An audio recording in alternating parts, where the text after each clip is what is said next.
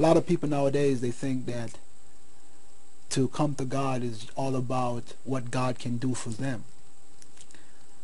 But they don't realize that God has already done everything for them. You know, they're looking for cars and houses and, and, and, and their best life now. But they don't realize the reason that we come to God is so that we can get to know him. You know, it's so that we can get to know his ways. Because if there is no sin in heaven, and we see that we are we are sinful, we are prone to sin, that means he has to work on us here on earth. He has to separate us from our sins down here so that we can even be acceptable in the kingdom of God. Well, we know that Jesus Christ came and he lived he lived a perfect life. The Bible said, For God so loved the world that he gave his only begotten Son, that whosoever believeth in him should not perish, but have everlasting life. So the gift of God was given, which was the Son. Jesus Christ was the manifestation of God Almighty. But the, but the reason a lot of people stumble at this and they think that Jesus Christ and the gospel is all about rubbish and nonsense is because they they complicate it. The fact is that the reason why this world is so wicked and evil, it all starts in our heart. Out of the heart comes pride. Out of the heart comes greed. Out of the heart comes lust. And no other religion dares to ta tackle this problem of the indwelling issues of evil and sin in us. But Jesus Christ did. And that's why he was God Almighty. He came into the world and he said, look, this is your problem. This is why the world is like it is. And man hated him for it. They hated him for he spoke the truth because it pierced the heart. And when the word of God comes at you, it will either do either it will pierce you or or, or you will be offended by it. You know, either you will turn and repent and put your trust in Jesus Christ or your heart will be hardened. And the more your heart get hardened is the harder for you to receive the gospel. But today you can receive the gospel. Today you can come to God and repent and say Lord forgive me. I'm willing to turn. I want to read one scripture for you in John 3 verse 12 it says if I have told you earthly things and you do not believe, how will you believe if I tell you heavenly things?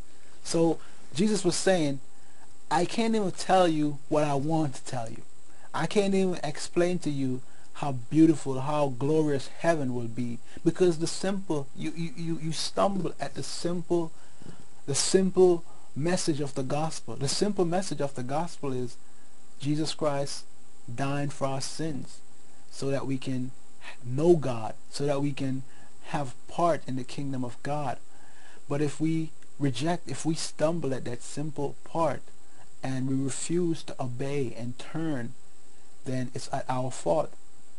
And it says in verse 18, He who believes in him is not condemned, but he who does not believe in him is condemned already, because he has not believed on the name of the only begotten Son of God.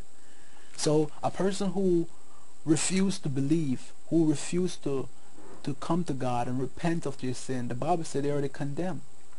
That does not mean they can't come to God at a later state, but as long as they're in that state of unbelief, the Bible said they're condemned. And we know that condemnation, when God say condemn, it means sentence is already passed. That means in the courts of heaven, if you die right then and now, when you stand before God, you will have no no advocate. You will have no hope of being right with God. Why? Because you have refused the only hope. The only hope is Jesus Christ.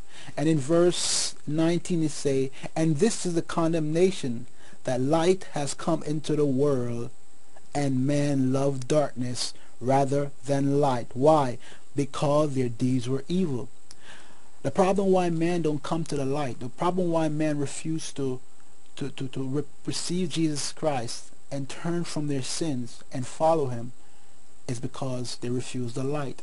when the light is shown, when the light shines on your soul, and you see the the the the, the vileness of who you are, and you see a holy God, a righteous God, and you know that one sin with him is enough to to, to, to, to, for him to condemn you for all eternity and you see how many sins you have committed. You see your lusting you see your hatred you're seeing your envy your jealousy your gossiping your your adultery. You see all the sins that you've committed. A lot of people reject the light. They say i don't want to see that light.